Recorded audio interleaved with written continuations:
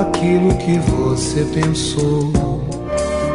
O tempo não para no porto, não apita na curva, não espera ninguém.